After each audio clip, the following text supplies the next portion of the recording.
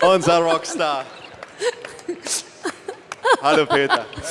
Oh, was für eine große Freude.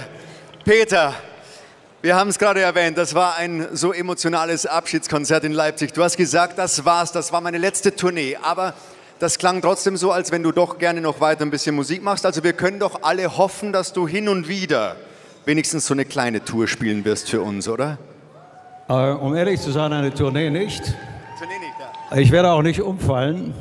Das, was wir, was wir angekündigt haben, das halten wir ein, aber auf Musik verzichten können wir nicht. Insofern hast du recht. Es wird also einzelne Konzerte geben, Festivals oder ähnliches.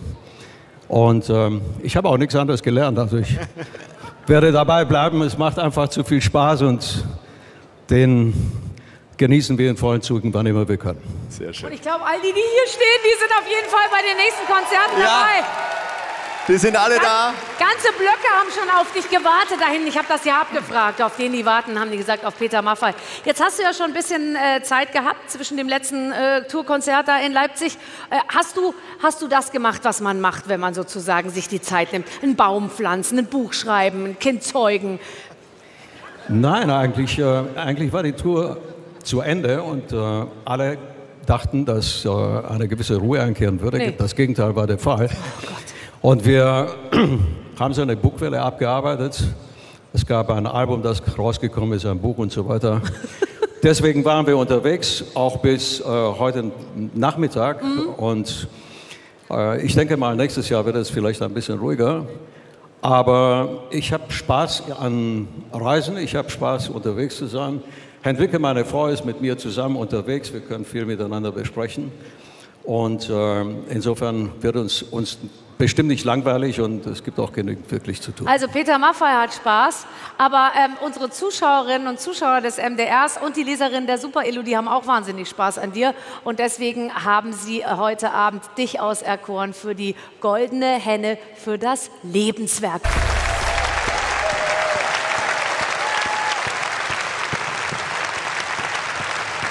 Aber auch du kriegst natürlich einen Laudator.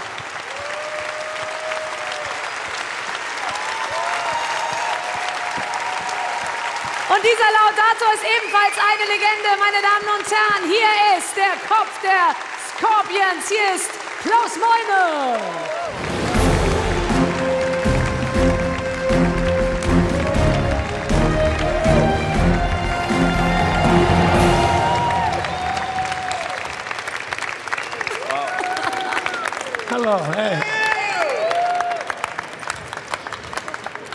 Peter, Grüße. Hi.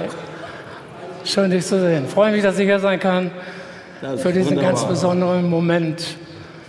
Und du hast gerade Leipzig gerockt, innerhalb so kurzer Zeit zum zweiten Mal und einfach großartig, dich zu sehen. Und mal wieder in Leipzig zu sein. Hi Klaus, hallo. Schön, dich zu sehen. Ja, grüß dich, hi. Grüß dich, danke. So, okay, dann ich gehen ein bisschen nach vorne, Ja, oder? komm, wir gehen alle nach vorne. Peter, wir, wir gehen alle ein bisschen. Erstmal einen wunderschönen guten Abend. Es ist richtig schön, mal wieder bei euch in Leipzig zu sein. Und dann schauen wir mal, was wir hier so Schönes vorbereitet haben. Lieber Peter, dein berühmter Held Tabaluga ist ein Drache. Aber wir zwei sind ja auch schon echte Dinos, oder? Du bist Jahrgang 1949, ich bin Jahrgang 48. Was ist das hier? Die goldene Henne oder ein Veteranentreffen? Ich glaube, ein bisschen ist es beides. Mit dir erhält heute Abend einer der größten und dienstältesten Rockstars des Landes die goldene Henne für sein Lebenswerk. Und ich, der ja auch schon ein paar Rock'n'Roll-Jahre auf dem Buckel habe, darf ein paar Worte dazu sagen. Und das mache ich sehr gerne. Denn auch wenn sich unsere Wege nicht sehr oft gekreuzt haben in den letzten Jahren, teilen wir doch viele Erfahrungen und Überzeugungen.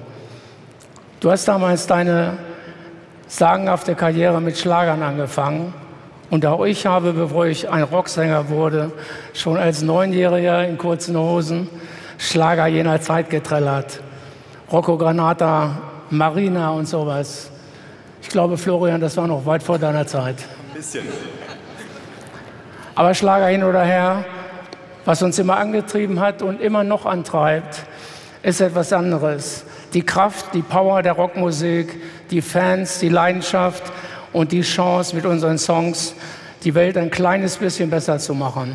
Und ich glaube, gerade in der heutigen Zeit brauchen wir Musik wie Soul Food, Seelenfutter, Musik für die Seele.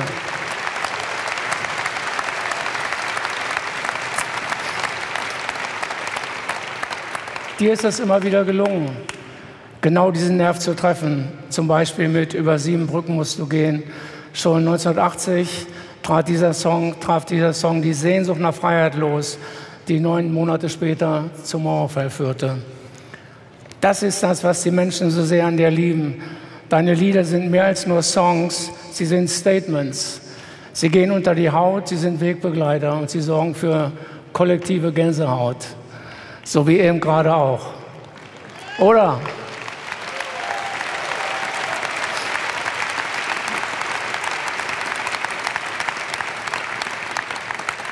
Und immer wieder geht es in deinen Texten um die Werte, die dich auch als Menschen ausmachen. Liebe, Respekt, Gerechtigkeit, niemals gegeneinander, immer miteinander.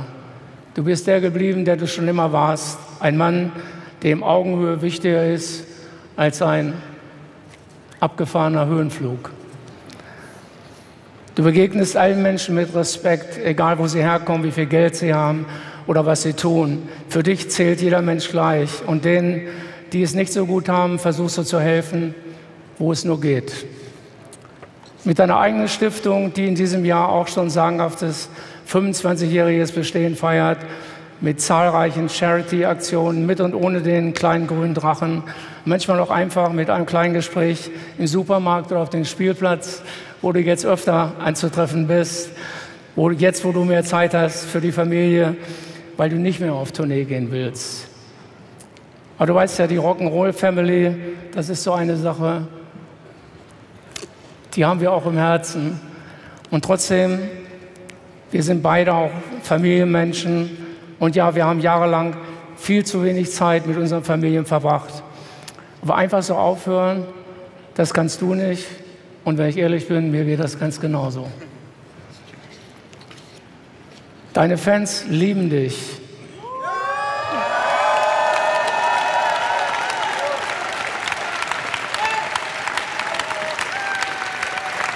Yes, come on.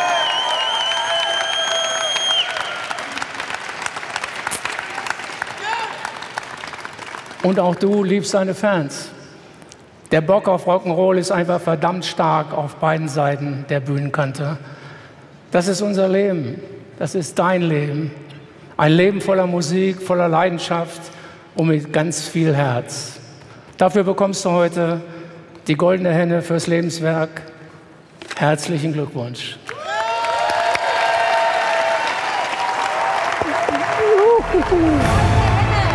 Glückwunsch, bitte.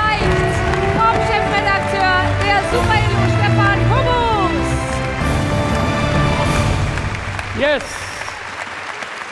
Jetzt kommt er. Stefan Kubus, der Chefredakteur, überreicht die Henne höchstpersönlich. Guten Abend. Guten Abend, liebes Publikum. Hallo Barbara, hallo Florian. Barbara, bist du satt geworden? Ja. Bist du satt geworden? Ich bin satt geworden. Wunderbar. Das wunderbar. war das Ziel.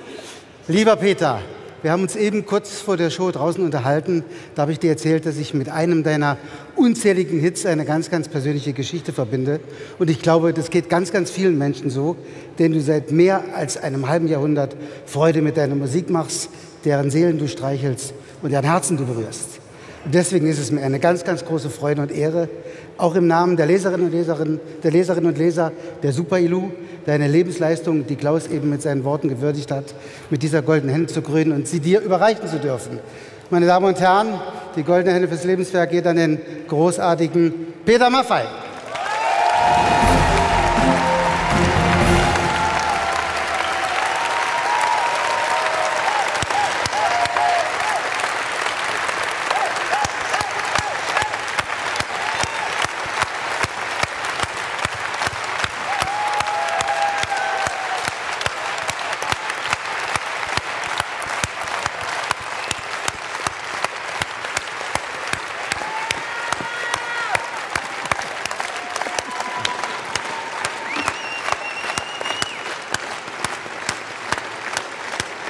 Dankeschön.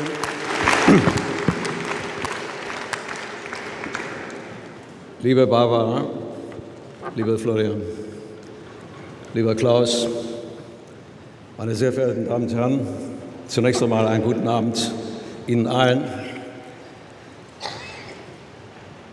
Ich muss diese Zettel hier so aus der Hand legen, sonst lese ich sie zum zweiten Mal. Ich habe ich bin ein bisschen aufgeregt, weil eine so wunderschöne Rede erlebt man nicht jeden Tag. Lieber Klaus, ich danke dir aus ganzem Herzen dafür. Du berührst mich sehr. Dankeschön.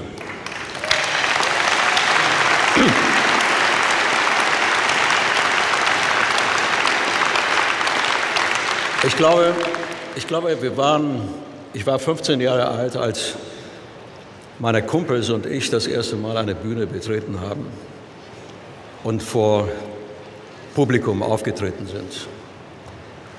Die Musik war immer unser Schlüssel zu den Menschen und sie hat uns eine Tür geöffnet, hinter der sich eine über fünf Jahrzehnte lange Reise auftat.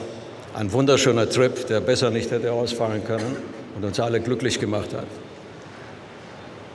Menschen mit Liedern zu berühren und im Gegenzug von Menschen berührt zu werden mit Empfindungen, das ist ein wunderschöner Prozess. Ein Freund, ein alter Freund hat mir vor einiger Zeit gesagt, wir sind, was Begegnungen aus uns machen.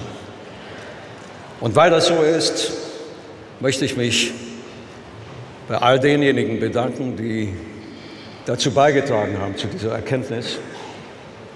Ich möchte mich bedanken bei unserem Schöpfer, bei meinem Schicksal, bei meinen Eltern, die ein hohes Risiko auf sich genommen haben, um mich mitzunehmen aus einer Welt, einer Diktatur, in eine freie Welt nach Deutschland, wo jetzt meine zweite und eigentliche Heimat ist.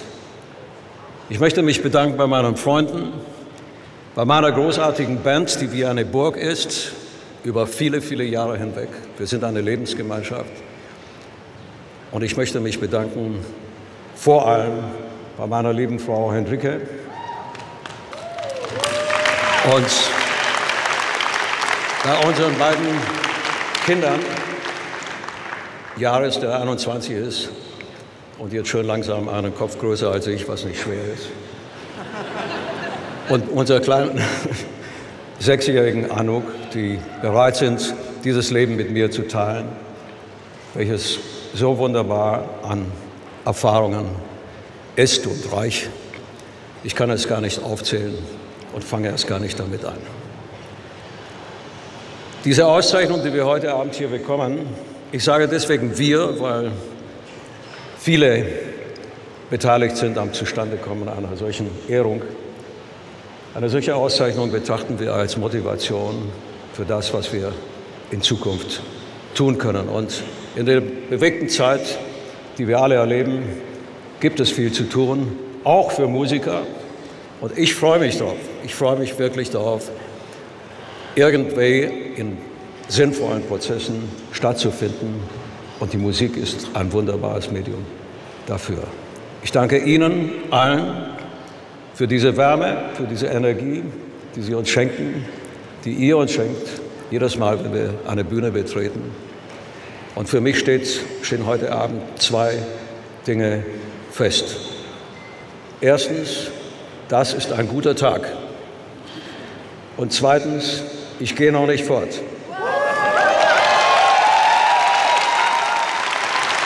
Dankeschön. Peter Maffei. Peter Maffei, herzlichen Glückwunsch.